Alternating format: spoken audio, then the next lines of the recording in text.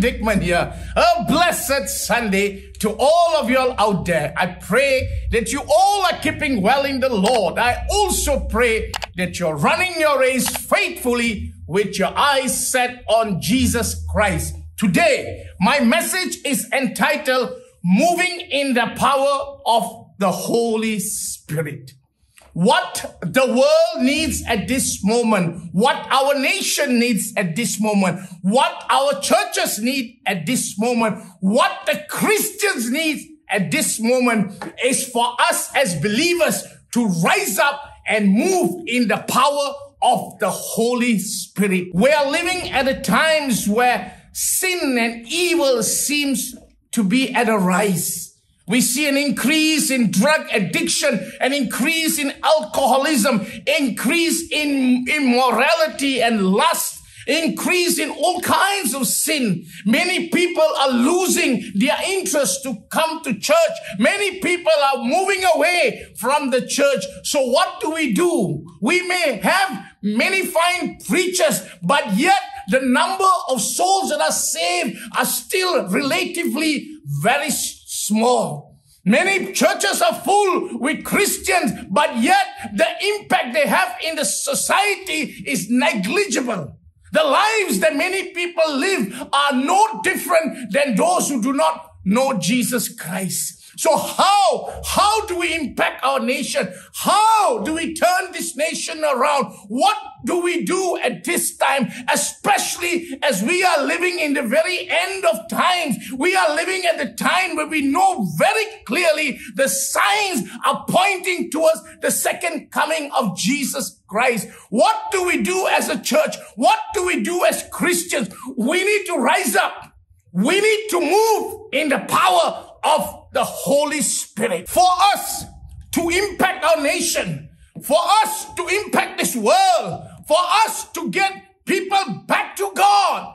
We need to start moving in the power of the Holy Spirit. We need to have a close look at the Gospels. We need to have a close look at the New Testament church. We need to see what they did and we need to rise up and desire it and move in that power. And then, and then only are we able to turn people's heart back to Jesus Christ. We need to be crying out. We need to be hungry. We need to be thirsty for miracles, for healing, for great deliverance, for the gift of the Spirit to be manifested in our lives, in our church. These are the mighty acts of God that make preaching the word of God effective. In Luke chapter 24, verse 49, it says, And behold, I send the promise of my Father upon you, but tarry in Jerusalem until you be clothed or endued with power from on high. This is what Jesus told the disciples. The disciples were walking and living with Jesus for years. And yet, at this moment, Jesus tells them to wait in Jerusalem until you're clothed or endued with power from on high. In Luke 10, 19, he says, Behold, I give you power to tread serpents and scorpions and all the power of the enemy, and nothing by any means shall hurt you.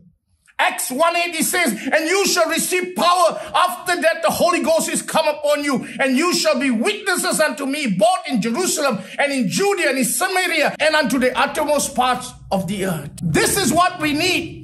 We need the power of the Holy Spirit. We need the dunamis, the dynamite power of the Holy Spirit. We need the authority or the exousia so that when we walk, we carry the authority that Jesus has given us as his children and we can impact this world for Jesus Christ. Many people do not believe that we can move in the power of the Holy Spirit. Many people believe the gifts ended somewhere back in the New Testament age. Some people believe in certain gifts and the other gifts don't exist at this moment. But let me tell you, for the church to be effective at this time, we are living in the very end of ages. And for the church to be effective, for the church to move in power, for the church to touch this dying world, we need the gifts of the Spirit. We need all the gifts of the Spirit. And we need to be manifesting the gifts of the Spirit in the church. Some of you might have one, some of you might have more, but we need the gifts. And that is what is going to check this nation for Jesus Christ. Paul one of the greatest missionary we can read of in the New Testament. He says in First Corinthians chapter 2, verse 45, and my speech and my preaching was not with enticing words of man's wisdom, but in demonstration of the Spirit and of power, that your faith should not stand in the wisdom of men, but in the power of God. This is a great lesson that we can learn. And this is what I want to emphasize in this sermon today. That we need to move in the power of the Holy Spirit. Many of us have neglected the power of the Holy Spirit. Some of us have opposed it. Some of us have ridiculed it. Some of us refuse to talk about it. Some of us once upon a time was moving, but now we don't move. But let me tell you, let me remind you, for us to be effective, for us to do great things, for us to do mighty things for Jesus Christ, we must move in the power of the Holy Spirit. It's so important for us to move in the power of the Holy Spirit. And that's what Paul is speaking here. He says, and my speech and my preaching was not with enticing words of man's wisdom, but in demonstration of spirit and power. This is not an unlearned man. This is a learned man. This is a man that you put in our current time should be a person with a PhD. He studied the scriptures. He studied everything that's written in the Bible. He sat under great teachers. And yet he's telling my speech and my preaching was not the enticing words of man's wisdom, but in the demonstration of spirit and power. That your faith should not stand in wisdom of man, but in the power of God. So it's important for us to not only preach the word, it's important for us also to move in the power of the Holy Spirit. That's what Paul is trying to tell us. If you try to entice people with flowery speech, of man's wisdom, another person will come and speak greater flowery speech with man's wisdom and draw them away from Jesus Christ. So how do you hold them hold on to the faith without wavering? Is for them to listen to the word and see the signs following. That's what's so important here. God's intent is that the gospel do not come to us simply with words, but also with power, with the Holy Spirit, and with deep conviction. That is God's intention for us. We have too many people who are speaking from the pulpit with persuasive words, with flowery words, and yet there is no demonstration of the power of the Holy Spirit.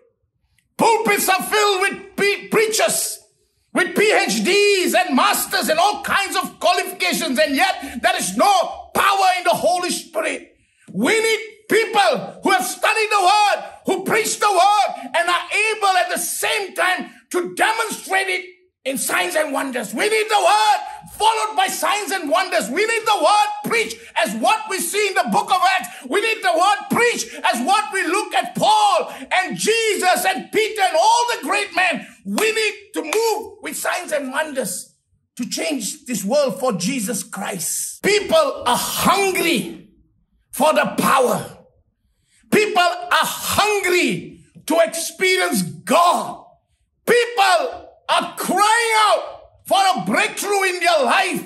People are suffering with bondages, with chain, with oppression, with depression, with anxiety, with attacks of the enemy. People are crying out. And here are preachers who are just dishing out the word, the word, the word, but there is no power to break anything. And here I want to encourage everyone to get to the word and start to pray that the signs and wonders will follow so that it'll convict people's heart, that people's faith will be grounded as they hear, they will see the miracles.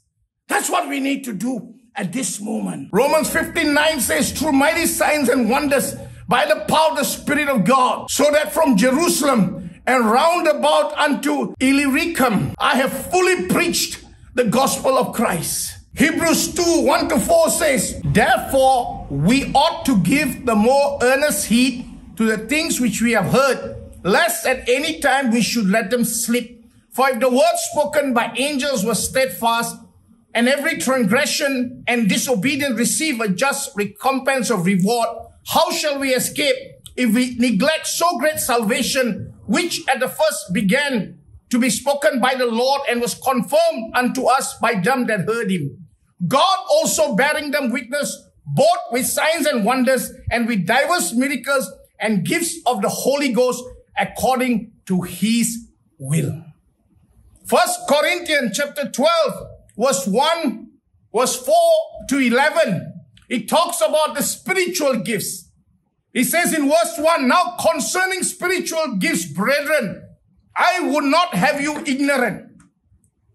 Then he gives us the spiritual gifts, the word of wisdom, word of knowledge, faith, gift of healing, working of miracles, prophecy, discerning of spirits, diverse kinds of tongues, and interpretation of tongues.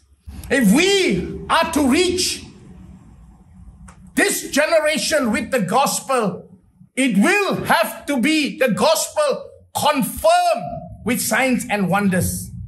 This message is so important for all of you because for us to preach effectively, for us to see breakthroughs in our personal life, in our family, in our business, in our church, we need the power of the Holy Spirit.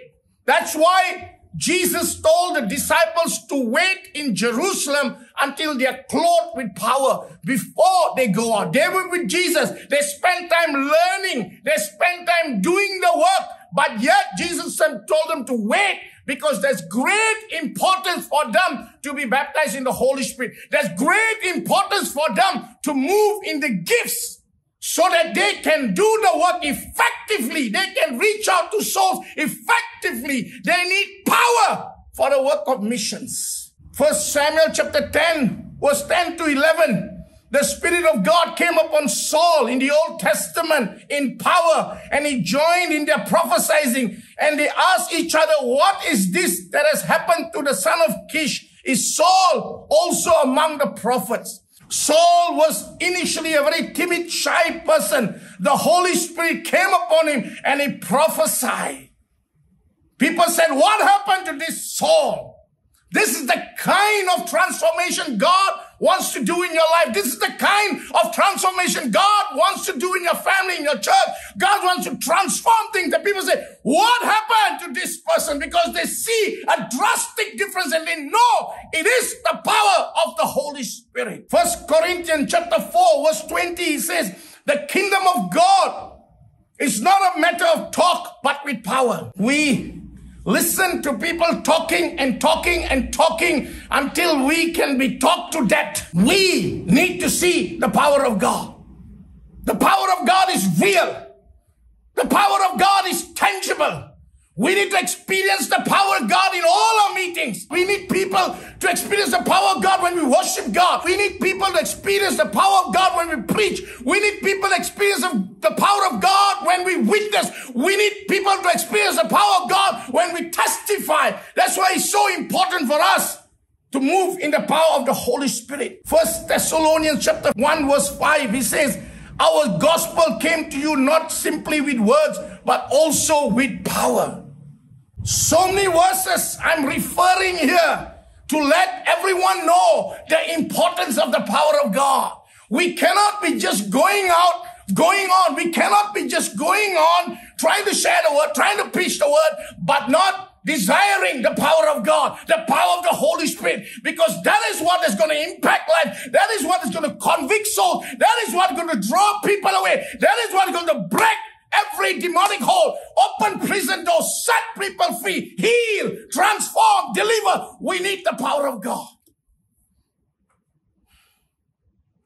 We study the Bible in the New Testament. There is a pattern that we can derive from it.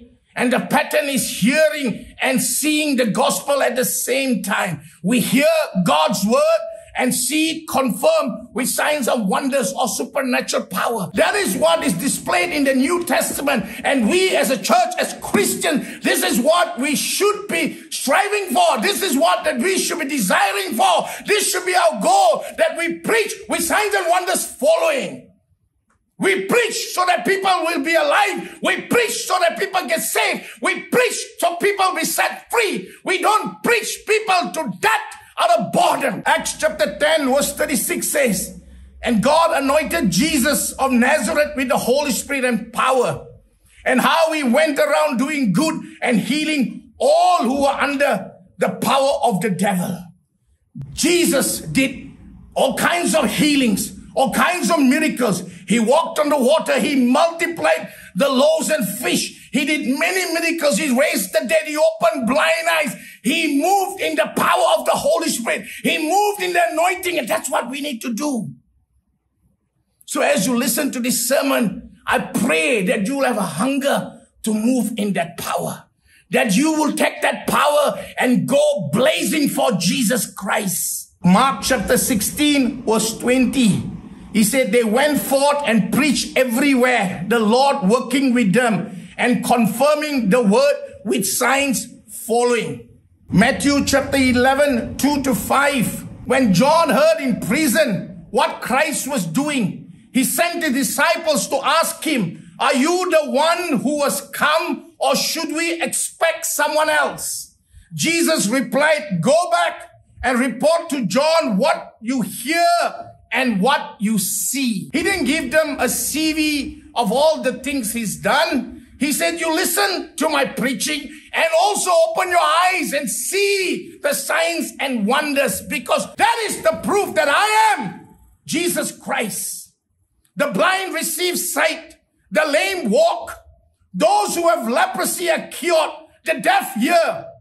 The deaf hear. The dead are raised. The good news is preached to the poor.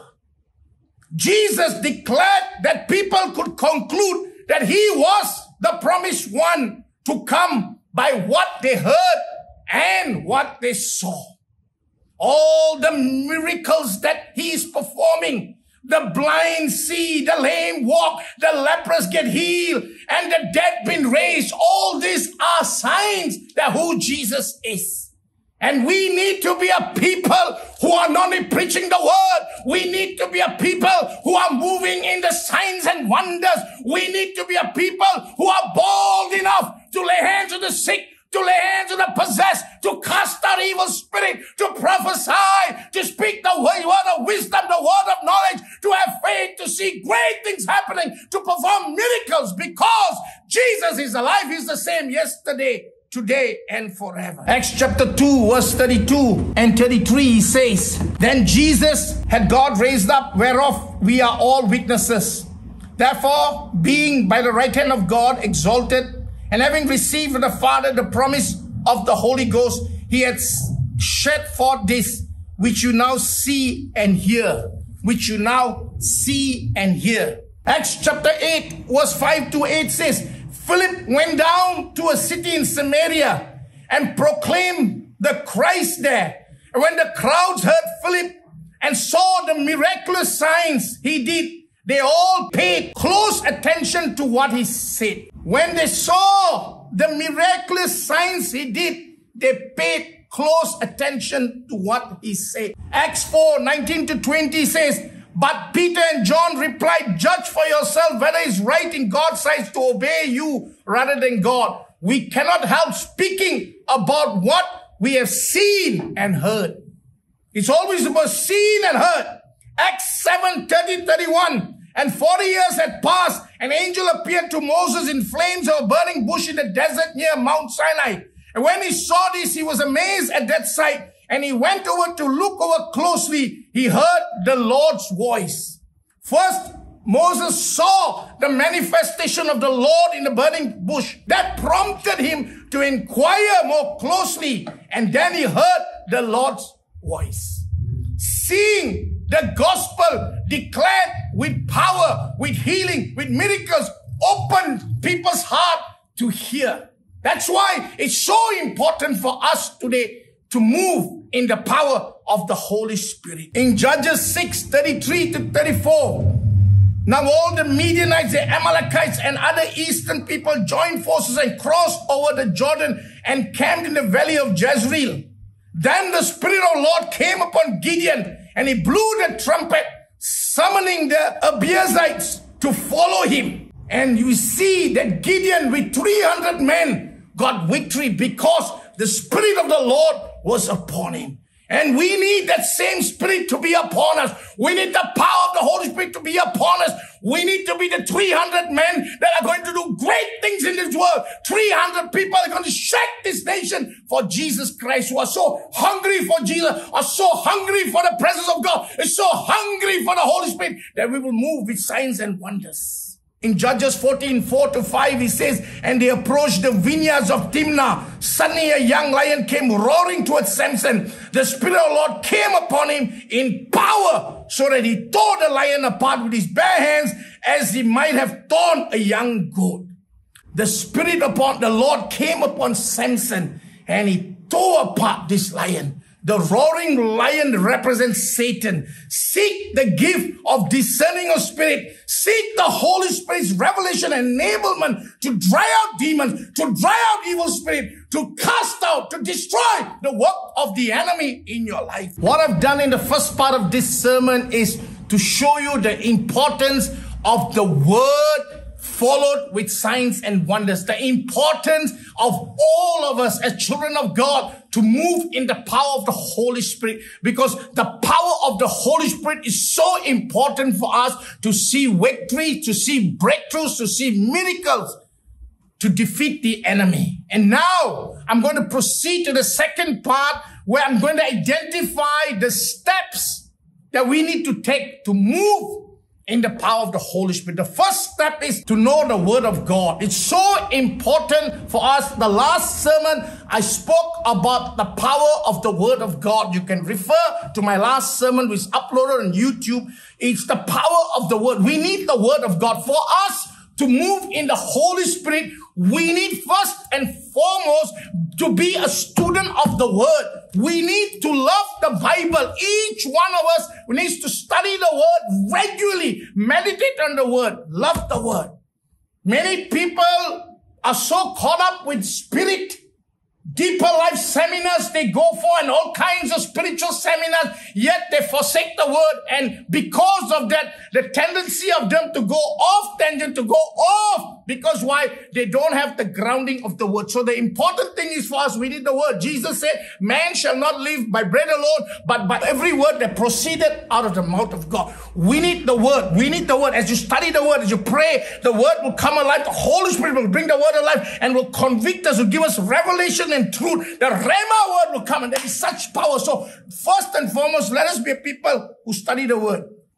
Matthew 28 verse 18 to 20, we talk about the Great Commission and Jesus came and spake unto them saying, all power is given unto me in heaven and earth. Go ye therefore and teach all nations, baptizing them in the name of the Father, the Son, and the Holy Ghost, teaching them to observe all things whatsoever I commanded you. And lo, I am with you always, even to the end of the world. Amen. Even teaching them to observe all things this is part of the Great Commission. We need to teach them. We need to know the word. We need to study the word. We need to be a teachers of the word. Luke 4 4 says, Man shall not live by bread alone, but by every word that proceeds out of the mouth of God.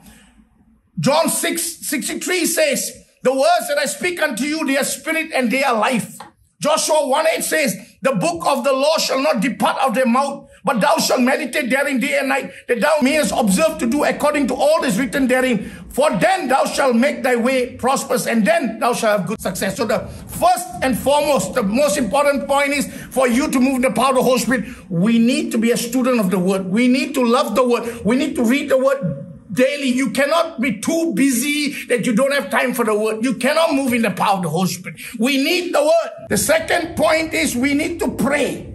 We need to pray. Luke 24, 47 to 49, he says, And that repentance and remission of sins should be preached in his name among all nations, beginning at Jerusalem. And you are witnesses of these things. And behold, I send the promise of my Father upon you, but tarry in the city of Jerusalem until you be clothed or endued with power from on high. This is what is so important. You got to tarry. You got to stay in Jerusalem until you're clothed with power from on high. To be well trained for ministry and full of God's word is wonderful, but it's not enough. They needed the power. They spent time with Jesus. They spent years with Jesus. But yet Jesus told them to wait. The importance here is to wait. And they had to wait. And what they did when they wait, they prayed. They spent time focusing on Jesus. So we got to pray. In Acts chapter 1 verse 4, 5 and 8, he says, Do not leave Jerusalem, but wait for the gift of my father promised, which is have heard and speak about. For John baptized with water, but in a few days you'll be baptized with the Holy Spirit and you receive power and when the Holy Spirit comes on you, you will be witnesses in Jerusalem, in Judea, in Samaria, and the ends of the world. Then we read in Acts chapter 2, verse 1 and 4, when the day of Pentecost came, they were all together in one place.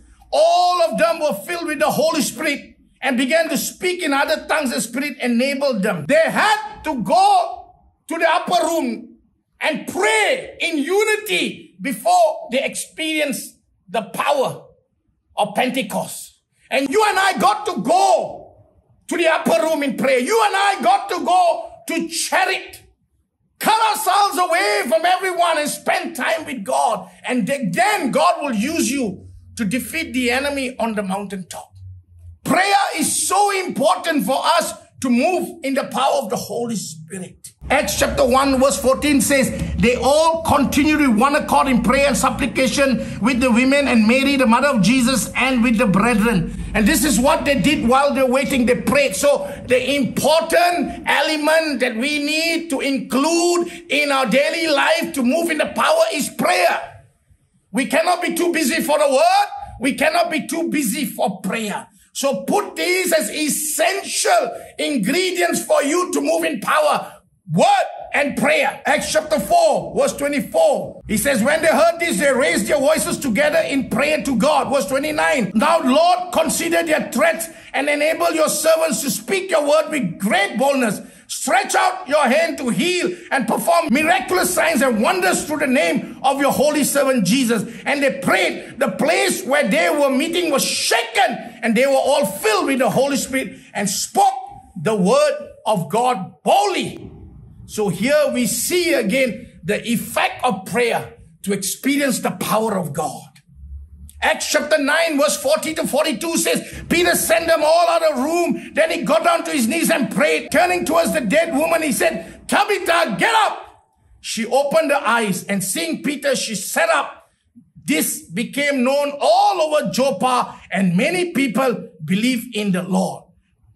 Peter raised the dead woman Dorcas and many people in Joppa believe in the Lord as a result. Again, what preceded this miracle and his soul saving fruit? The answer is he got down and prayed. Peter prayed. Jesus prayed. Paul prayed. Acts chapter 28. The chief's father was sick in bed, suffering from fever and dysentery.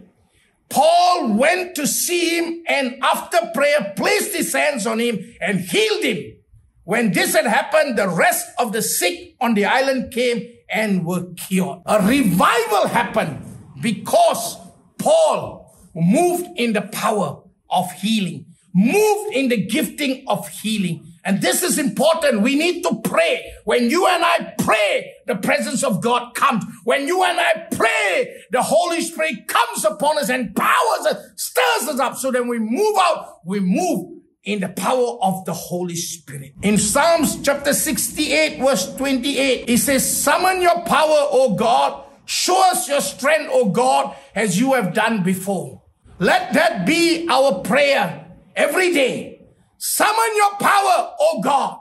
Show us your strength, O God. Pour out your power today as, as you have done before. Pour out your power upon our lives as we see in the book of Acts. Pour out your miracles and power and giftings upon our life as we see what you did in the book of Acts. That's what should be our cry that we will move in power and turn the world upside down for Jesus Christ. Point number three is eagerly desire spiritual gifts. First Corinthians chapter 14 verse 1. Follow the way of love and eagerly desire spiritual gifts, especially the gift of prophecy. First Corinthians chapter 12 verse 7, but a manifestation of the Spirit is given to each one for the profits of all. As I mentioned before, you study First Corinthians chapter 12, it identifies the nine gifts. There are many other different ministries and gifts, but nine gifts here that is so important for us that we need to pursue. Therefore, brethren, desire earnestly to prophesy. 14 verse 39. First Corinthians 14 verse 1, pursue love and desire spiritual gifts, especially that you prophesy.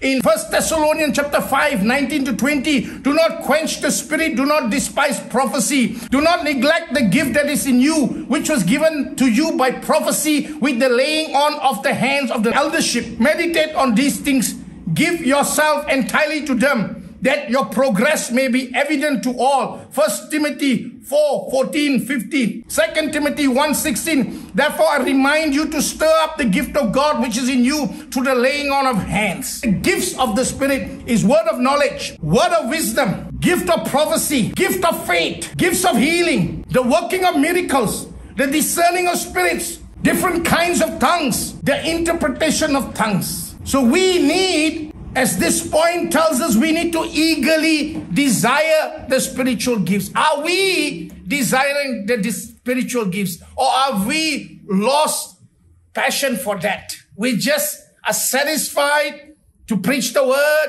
to study the word, to go to our commentaries, to do the exegesis, to study the historical grammatical criticism, to study the authorial intention, to read all kinds of versions, and we are satisfied that should not be sufficient. We should pursue further. We should move in the Holy Spirit. We should allow the Holy Spirit to permeate our life, the way we live, the way we read the Bible, the way we preach, the way we worship. The Holy Spirit should be involved, should be the beginning, the center, and the end of our entire life. Then you see great power and conviction coming on. We will not be dishing out some dry stuff, but we will be giving them meat to eat because why? we have the Holy Spirit working with us. Point number four, we must be a people who are ever willing to reach out to the lost.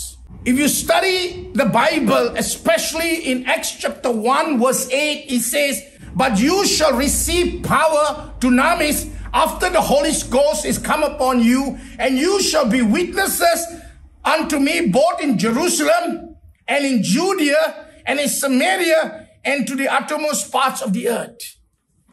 The people were baptized in the Holy Spirit. They were empowered for the purpose of mission. So you cannot be asking and desiring God for the gifts, but you don't have passion for soul. Something is really gone wrong there. It's no use printing on your name card that you're so and so with so many gifts and yet you're not, not having a passion for soul at all. It's no use for you desiring gifts so that you have your own selfish desires, greed for money and fame. It will not work.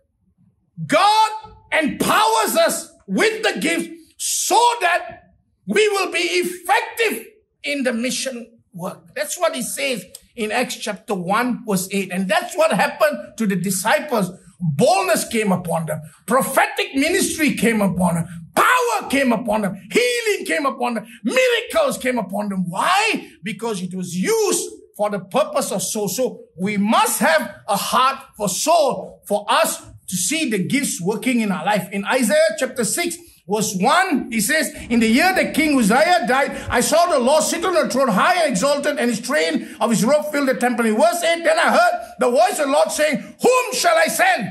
And who will go for us? And I said, Here am I, send me. And that should be our answer to God. Here am I, send me. Here am I, send me. What's the use if you have gifts to heal? You're sitting at your home, we're sitting at home and not going out at all to do ministry to people who are sick.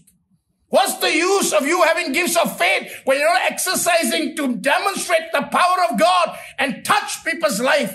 What's the use of you having prophetic ministry and the gift of wisdom and, and all kinds of gifts, but yet you're not using it to draw people to Jesus Christ? So if you want to move in the giftings, you want to see the power of God demonstrating in your life, your focus must be for souls. We are living in the end times. What do you do? We read so much about end time. We hear so much of the end time. It's all converging. It's coming to a play time where we are living in. We do not know when it's going to happen. It may happen one year, two years, ten years down the road. We do not know, but it's soon. So what do you do? You don't sit at home and shake legs. You don't just talk about it. You get up and do the work in the power of the Holy Spirit. Because there are souls out there who'll miss the boat if we don't go and preach. Point number five, we must be obedient to the leading of the Holy Spirit. This is so important for us to move in the supernatural, for moving the giftings, for to do great things is we must be sensitive and simply do what the Holy Spirit speaks to us. And when you do that, you are going to see God using you to demonstrate great things through the power of the Holy Spirit. There's one good example about Jesus in John chapter 21 verse 3 to 6. It says, that night they caught nothing. I think you all have read the story how the fishermen went out to fish. We used to sing songs during our younger days. They fished all night, but they caught no fish. They fished all night and they caught but Jesus called from the shore. This is what happened. Jesus called out to them. And what happened? Jesus told them, throw your net on the right side, on the other side of the boat, and you will find many. And when they did what Jesus said, they were unable to hold the net in because of the large number of fish. Cast your net over there. That is the most important lesson we can learn here for us to do great miracles is that we must be sensitive. For us to be sensitive is praying, reading, spending time with God so that we're in tune with Him. And when He tells us something, it might seem, it makes no sense. It might seem way out. Other people are not doing it. But you're going to do it. Even though it blows your mind, it's not according to your expert training. You just do it. And you're going to see great miracles. You're going to see God use you to bring glory to his name by doing great miracles. Miracles that will blow people's mind. And that's what happens when you learn to obey the leading of the Holy Spirit or flow in accordance to the leading of the Holy Spirit. Point number six is humility. This is important for us is to have humility. For us to be filled with power we need to die to ourselves, empty ourselves. Whatever we do, our focus is to glorify His name. Once you start taking glory to your name, once you start to get excited about the applause of them, of men on you, then your decline starts to happen. So always be humble and be honest enough to let people know it's not because of you. It's not because of me it's because of him, Jesus Christ. We need to give him glory. First Peter 5 6 says, Humble yourself, therefore, under the mighty hand of God, that he may exalt you in due time. If you look at Acts chapter 3, verse 6 to 7, how Peter said here, Silver and gold have I none, but such I have, I give unto you in the name of Jesus Christ. Rise up and walk. Taking him by the right hand, he helped him, and instantly the man's feet and ankles became strong. While the man held on to Peter and John, all the people astonished and came running to them in the place called Solomon's colonnade. When Peter saw this, he said to them, Fellow Israelites, why does this surprise you? Why do you stare at us as if by our own power or godliness we had made this man walk? By faith in the name of Jesus, this man whom you see and know has been made strong. It is Jesus' name and the faith that comes through him that has completely healed him, as you can see. Always remember, don't take glory. Give glory to whom is due. Humility, brokenness. Many people I see when they see little miracles happen in their life, they start to get puffed up. They start to do all kinds of weird things so to draw attraction to themselves. And you can know what's going to happen after that. So it's important for us to stay humble, important for us to remind ourselves it's not us, it's God. We are nothing without God. It's all because of Him. Point number seven, the last point here. We must have faith for the gifts to exercise in our life. We must have faith in the power of God. Psalm 78 verse 40 to 43 says, And they vexed the Holy One of Israel. King James Version said, Yeah, they turned back and tempted God and limited the Holy One limited the Holy One. They diminish the ex- their expectation of our limited God. They wax or they limited God. Sometimes we do that. We limit God. We don't Have faith that God can do it. That's why the children of Israel went around the wilderness for 40 years because they didn't have faith, they didn't believe that God will give them victory in the promised land. They, because of unbelief, they went around them. And many times we do that. We see a gigantic problem. We, we face a sickness. We face some financial problem. We see this COVID-19. We see, we hear about the enemy coming. We got this depression. We got evil thoughts. We got addiction. We got habits. All kinds of things happening to us, our family, our loved one, our friend. And sometimes it seems so big that we lose sight of God. We come like Saul, where King Saul and the soldiers, where they lost sight of God and focused on Goliath, they limited God. And that is one of the hindrance for us to move in the power of the Holy Spirit. We need to have faith in God because we serve a big God. We serve a miracle working God. Matthew chapter 13 verse 57 and 58. And they were offended in him but Jesus said unto them, as a prophet is not without honor, save in his own country and his own house. And he did not many mighty works there because of the unbelief. How sad is that? Jesus didn't do many mighty works because of the unbelief. So when you have unbelief, you are not able to move in the power. You're not able to have faith to realize that we serve a limitless God where all things are possible through Jesus Christ. The Bible says in Malachi 3 6, I am the Lord, I change not.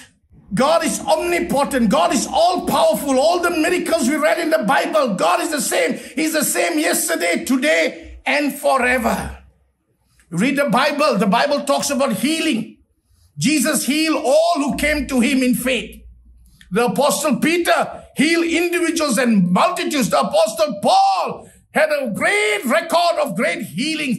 Philip did great healings in Samaria. And God, through his disciple named Ananias, healed Paul's blindness. So do not limit God to healing only when Jesus walked on the earth. What he did then, what the disciples did then, we can do now because we are his children. The same spirit is working in us. The same gift now that he gave to them is working in us that we can claim that gift and heal. We can claim in the name of Jesus and heal. By the stripes of Jesus, you are healed.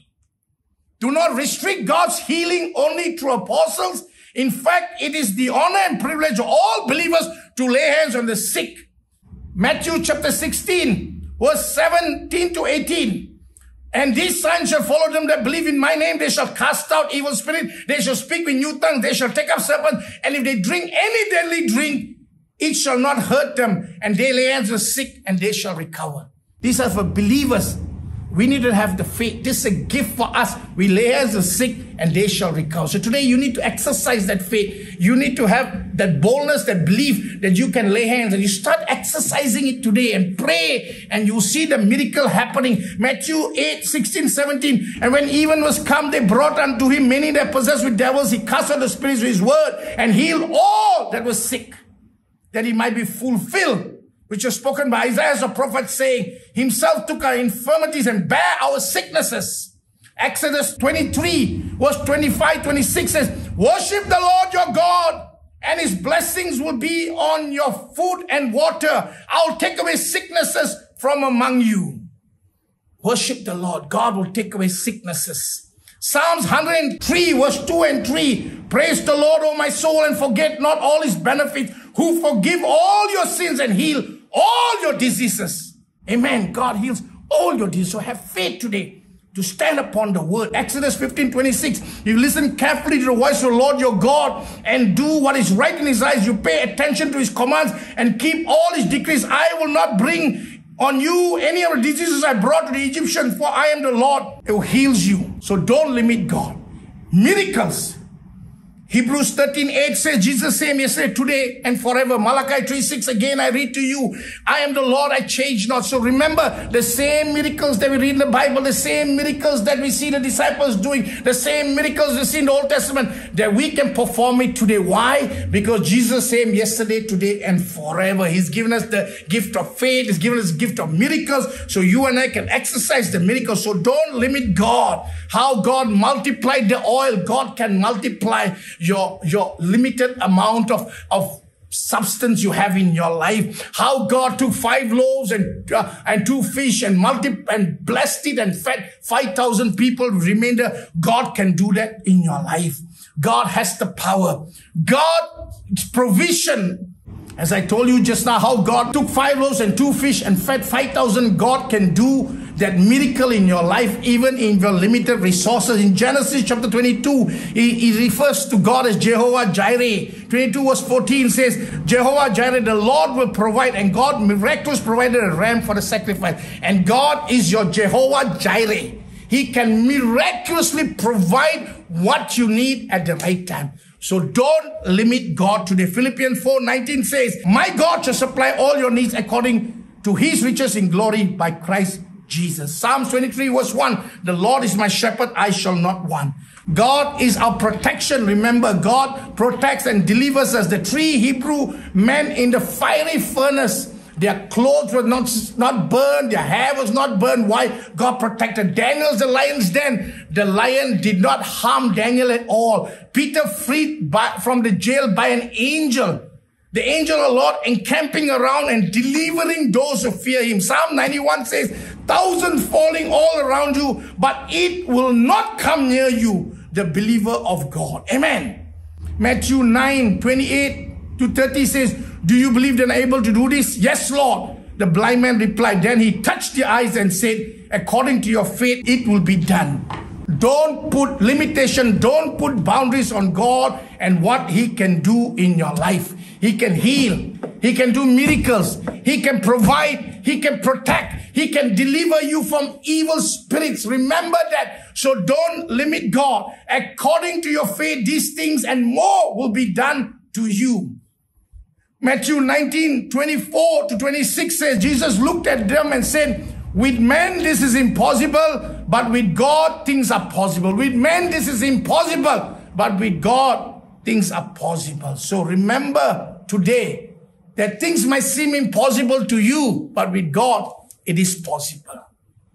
The people, when they saw the Red Sea and Pharaoh's army coming, they thought they are in an impossible situation. But God said, why are you waiting, waiting, Moses? Go forward. So we got to keep pressing on. Don't stop. Don't let fear paralyze us, but we got to keep pressing on in faith and use what God has given us. And you'll see God doing those miracles in our lives as you read in Exodus chapter 14. So remember today as I close that we serve a miracle working God. With man, this is impossible, but with God, all things are possible. God bless you. Shalom.